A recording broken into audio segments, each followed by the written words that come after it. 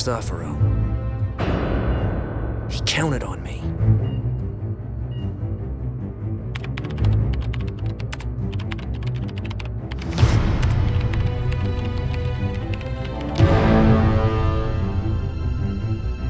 A photo, an address, half the payment. I don't need anything else.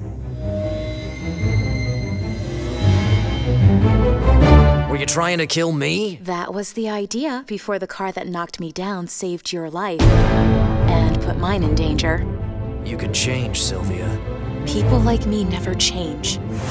Maybe you won't like this priest, but now I'm the only one you can trust. Just stay away from me, Silvia. Guess what? It seems destiny decided for us. They won't ever let you rest, will they?